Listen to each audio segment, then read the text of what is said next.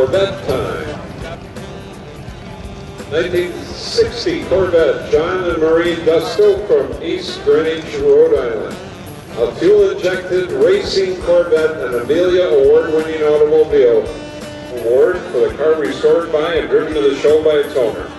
The Buddy Palumbo Award. 1967 Corvette, 427 big black Corvette with a black sticker. An Amelia award-winning Corvette from 1956, owned by John and Sally.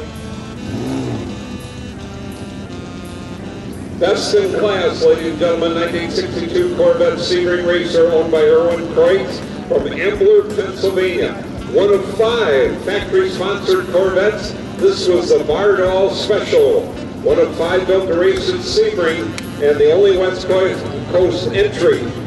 Big roll bar, special gauges, lots of power, side on, bringing this outstanding Corvette to our show. Erwin Kreitz, ladies and gentlemen, from Ambler, Pennsylvania, a Sebring factory-built race car. Ken Leonfeller at the wheel.